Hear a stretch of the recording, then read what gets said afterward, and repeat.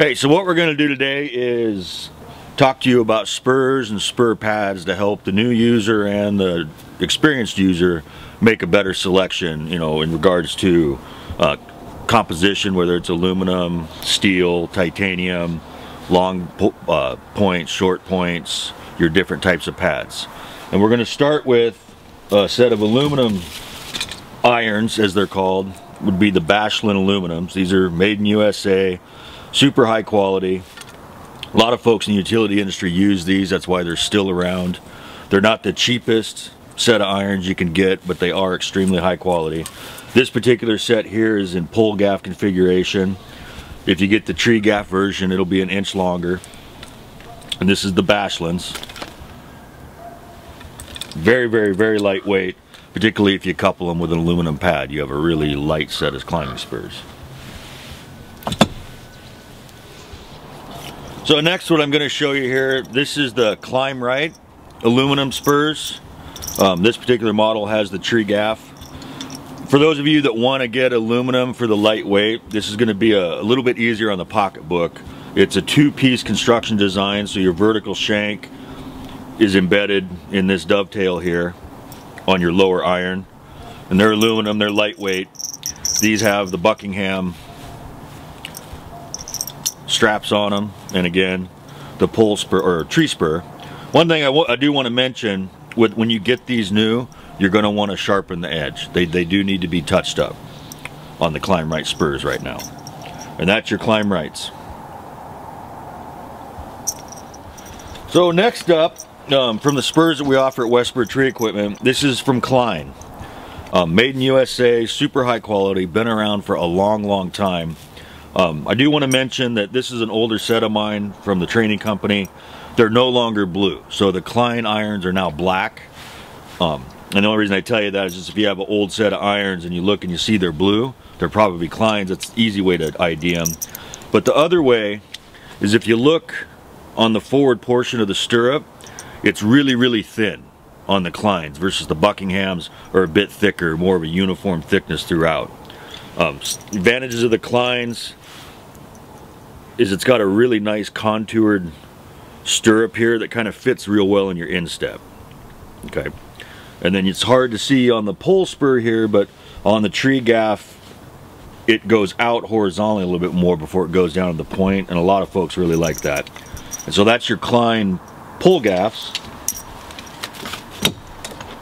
And then here is a set of Klein tree gaffs, and you can see you've got that extra inch of length and it's a lot easier to see how the hook comes out a little bit before it goes down towards the ground.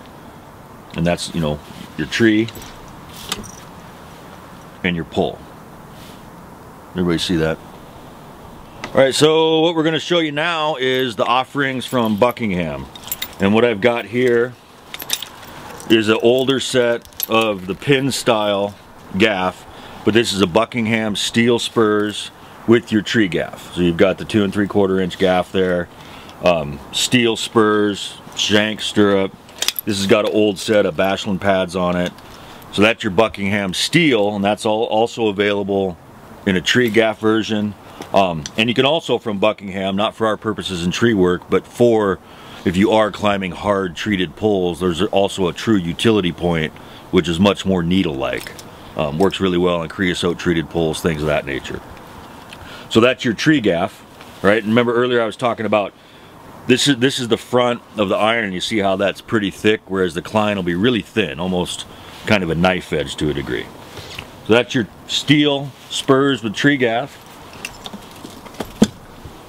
And then these, this is a set of titanium Buckinghams with the pole gaff, just the standard pole spike. And so you see how that's you know an inch shorter than the tree gaff that we had. The titaniums are super lightweight um, really really very very durable. This pair is uh, well this pair is every bit of 14 15 years old. Um, when I first got them I was like you know titanium is that going to be fragile? But super light um, they were cheaper then but they're still well worth the money excellent investment because it allows you to go with a, a bit bulkier more comfortable pad and you make up with the weight savings on your irons. So that'd be your titaniums from Buckingham. All right, so just a quick review on your selecting your spurs. You have the choices of aluminum, which would be Bashlin and Climb Right. You can get titanium in Buckingham. You can get steel in both Klein and Buckingham. Um, we could also special order steel Bashlins if that was really what you had your heart set on.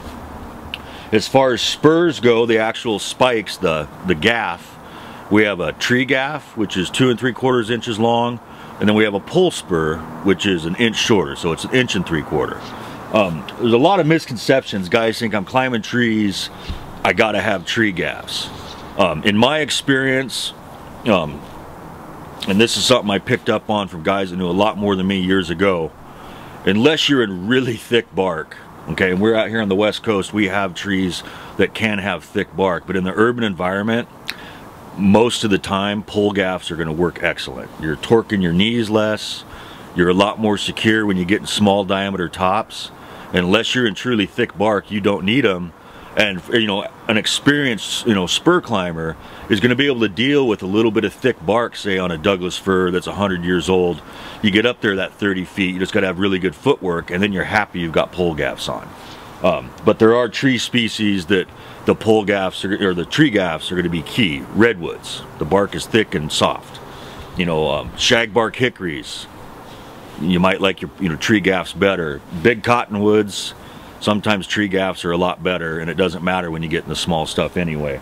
But so keep that in mind. You know, most of the time, and particularly on the East Coast, where you've got a lot of hardwoods, um, the South, you know, the the upper northern Midwest states you're going to have trees that have hardwood and a little bit thinner bark and those pole gaffs are going to be a lot better for you. So keep that in mind. And there's a lot of journeyman climbers that have two sets of spikes. They've got a set of tree gaffs and a set of pole gaffs. And what you'll find is the tree gaffs wind up getting kind of rusty because they're not getting used as much, okay?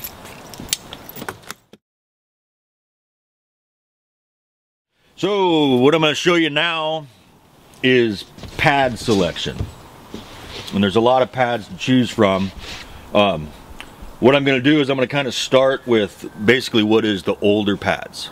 Okay. And I'm going to be honest with you. So, right here, these are brand new, but you know, some of you may have had to use these before.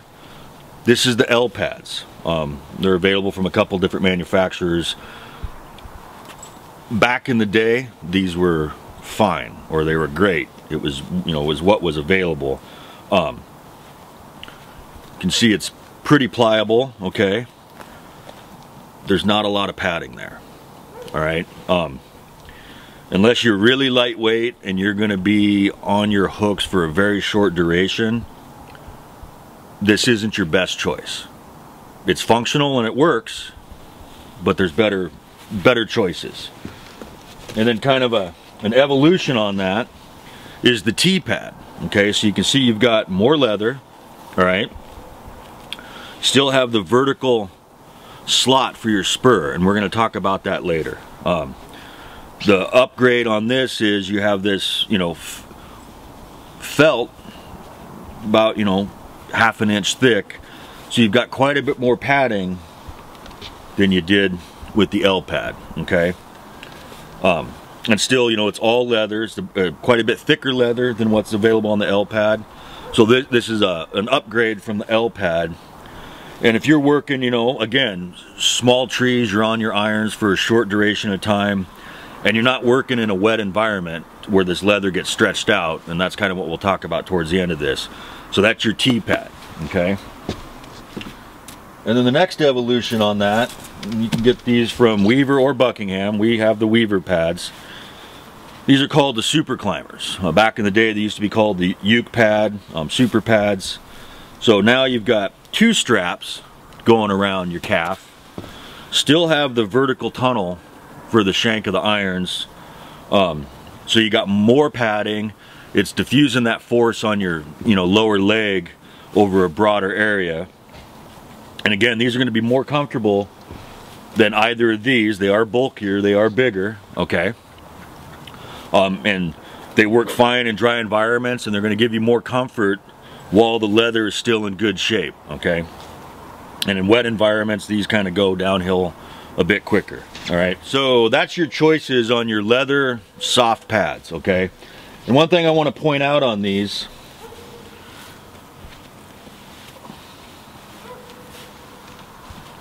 So in all three of these pads, you see how your tunnel for your where your iron goes in, the shank goes in, those are all vertical. And people always ask me, what pad should I get? And what I tell them is, any pad that has the angled steel insert in it, okay? And we'll talk about why later, all right?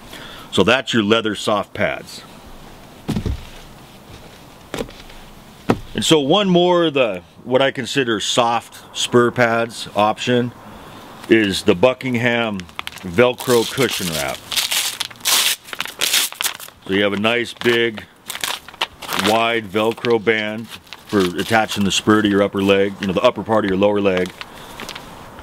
Leather interior with a lot of really soft padding. Very comfortable. Um, these do have the same vertical pocket or tunnel for the shank on your spurs, okay? That just goes through and connects to your spur there, okay? These are lightweight. It makes for a compact, compact, compact set of irons when this is all stowed in your spur bag. And so that's the Velcro cushion wraps. Now there's also the Buckingham steel cushion wrap. So it looks just like these, okay? Keep that in mind. But it has the angled steel insert, okay? Okay, so what I'm going to show you now is um, what's referred to as Cadillac pads. Um, we used to call them aluminum cups, you know, years ago. And this is kind of, you know, these have been around quite a while, okay? And remember earlier I was talking about angled inserts? Well, if you look at the pair of OpSols here, these are what everybody calls Cadillac pads. See how there's a bit of an angle? That's not totally horizontal, okay? That's a plus. Um, these pads, the iron is held in place with one strap, all right? You've got really thick neoprene padding here. Um, they're very lightweight. They are really comfortable. Um, one thing you do want to watch for, especially if you work in a hot climate, is if you have, you know, your trousers get kind of some folds and wrinkles in them, and that's up against there when you're sweating like crazy because it's 95 degrees and 98% humidity, you can kind of rub your shins raw so it helps to either have long socks um, or the reason why a lot of the guys wear the tall lineman's boots is it does protect your legs from the chafing and scraping and whatnot. But you want to make sure that your trousers are kind of flat and smooth inside of there because it will start to rub you raw, especially if you're up on your irons for five or six hours on a big removal. Okay, so that is the standard width or standard cup on the aluminum Cadillac pads. And what I have here, this is an old pair of Mallory's, but the OpSols it's the same thing. That's your narrow cup. And does everybody see how much narrower that is? So if you have really small legs, um, this is going to be the better option for you because you can't bend this aluminum like you can with the steel inserts to form it to your leg. So that'd be your narrow and that'd be your regular. Everybody see that? So that's your aluminum Cadillac pads, all right? They've been around for a long time. These Mallory's are off of the first pair of spurs I bought in 88. Okay, and they're, they don't even, I can't even know you can find these anymore. So the next set of aluminum pads are from Climb Right. These are really lightweight. They attach with Velcro. Okay. Extremely lightweight. And for lighter climbers and um, where you're not going to be in great big trees for a long time, these are a good choice. Okay, they're really lightweight. But what some bigger folks, you know, um, if you're over 200 pounds, you're going to start to feel the edge there. So again, it's a good choice for smaller climbers in smaller trees, right? That's the climb right. And you couple these on the climb right aluminum spurs and you've got a really light spur set. I mean, these weigh next to nothing. It's, you know, pretty thin aluminum stock here and just a lightweight Velcro band with a really light ribbed to give you a little bit of ventilation interior pad. That's your Climb Right aluminums. All right, so now what we're going to talk about is the spur pads that have the angled steel insert and it gives you support The other big thing that it does, see how it orients your iron? That, that's a big factor when you're in the tree, and we're going to talk about that after this. So that's really where the comfort of these pads comes in. Not only do you have that steel insert in here to give rigidity, you still have the padding, all right? It's just a simple band of leather with the felt on it, one strap holding in place. This is what we moved to to put into our spur kits and our entry-level spur kits. For the money, this is an excellent value. You're getting a set of pads that you can use for years. They're going to be very comfortable and it's at a nominal price increase over your T-pads. And a lot more comfortable, trust me. Um, there's also, we used to have these, they were the Bashlin stiff wraps, effectively the same setup, okay? And again, does everybody see that, how that angled steel insert works? And we'll get in the tree and kind of show you, attempt to show you the difference. So then next, remember we had the Buckingham cushion wraps? So this is the Weaver steel cushion wraps, and the Buckinghams are similar. They're just a uh, different leather, um, black instead of the brown. But it's the same thing. You have the Velcro to attach it to your leg. All right. You can bend your steel insert if need be to kind of form it to your leg. And that's going to do the same thing. That's holding that spur, the shank of that iron in the direction it wants to move to when you're on the tree anyway. So now it's held in a much more secure position. These are extremely comfortable fairly compact, easy to put on and off. Um, big favorite with a lot of folks. All right, so what I got here is from Buckingham. This is the Big Buck pads. Angled steel insert. Remember we were talking about that. It's a good thing. Nice, wide, big pad to diffuse the pressure on your lower leg. These run secure the climber with two straps. Really good choice, good value.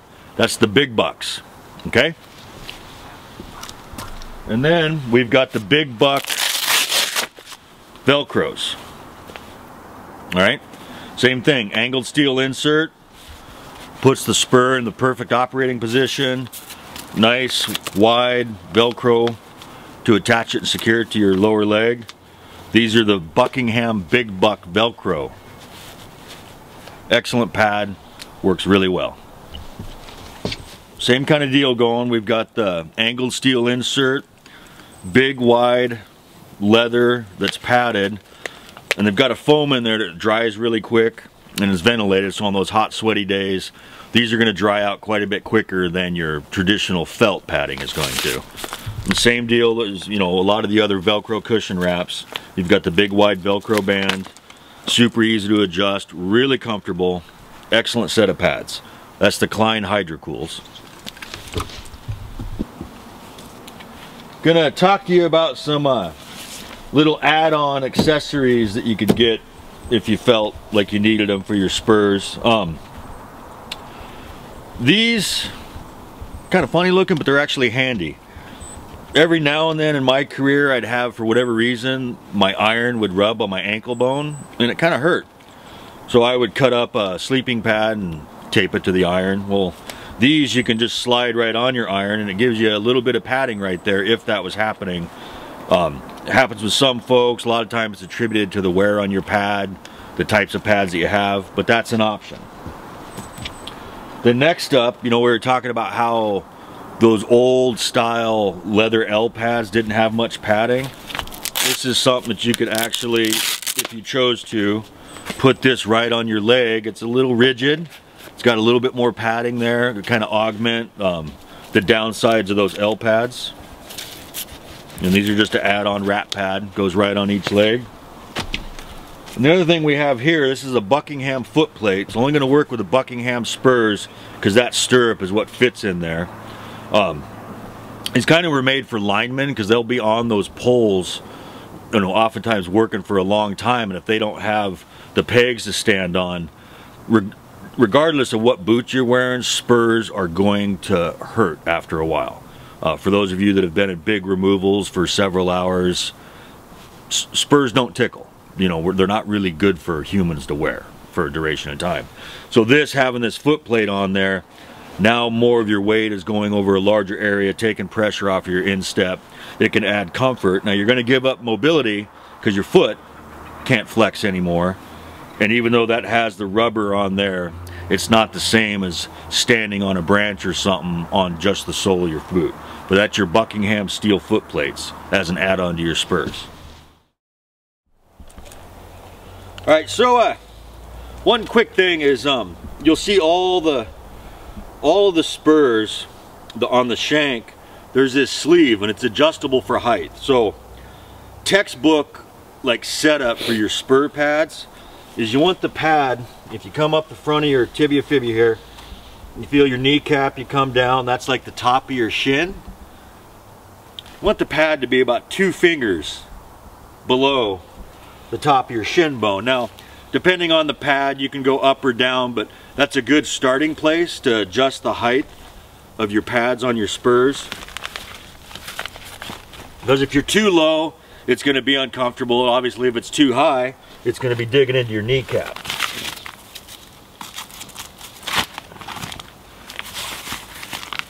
So for me, that's just about right. I'm actually like a finger and a half, but it's, it's okay.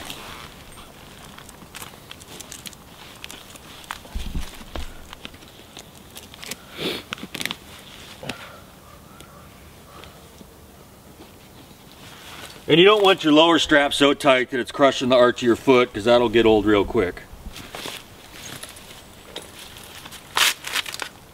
So we're talking about the straight tunnels on the old style leather soft pads and then the angled steel insert. So, you know, my knees aren't locked, but so right here, this would be a textbook work position. I'm pushing off around a wood or whatever, but it, you know, I'll take one leg out here and you can see how will that the spurs angled backwards and kind of the bottom of the spurs going forward. When we're climbing the tree with soft pads, that's where that shank is going to rotate to. And it starts to hurt after a while because it's digging in right forward to your calf muscle, right into your shin bone. And it aches after a ways. You never feel that if you have the angled steel inserts. I mean, literally this type of pad, you know, hours on a big removal. So that's that. So what I want to kind of show you, and it's going to be hard, um, is the difference where the tree spikes don't shine, I guess. Um, obviously in thick bark trees, it's going to be great. You're going to need them, um, really deep, soft bark. So here I'm in this small big leaf maple, and just, you know, I'm on my lifeline here, but it's, um, I'm precariously perched because I'm on just this point that's sticking out quite a ways from my foot actually. So, you know, it's not as stable. Like if I come off of my climb system, I mean, this is, this is kind of wobbly. So, you know, in the negative, I got more pressure going down on my spurs, but when I come up here in the neutral, on this really small, smooth bark stem, these tree gaffs are really torquing on my knees and they're just not as stable, okay? So you know, where that's gonna come into play, let's say this was a close quarters removal. This is a really small tree, but we need to go get up there into wood, you know, where we're talking three, four inches diameter. These are gonna be really wobbly for even an experienced climber, okay? So, you know, hopefully you guys can see uh, like how far, you know, I'm standing on that spur how far away from the trunk my foot is and that's that's wobbly okay? So here I got pole spikes on. Much more secure a lot surer footed. Um, even when you get like this small a diameter let's say.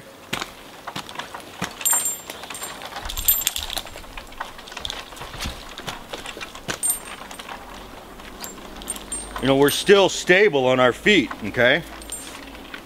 This is, you know, allows us to get up on the smaller tops. And even on a top, you know, or a stem this little, your heel and the ball of your foot is closer to the trunk. So it actually gives you a little bit more stability. So, I mean, pole spurs are my first pick. most of the time. It has to be a truly thick bark, large tree to really even want to wear the, the tree spurs.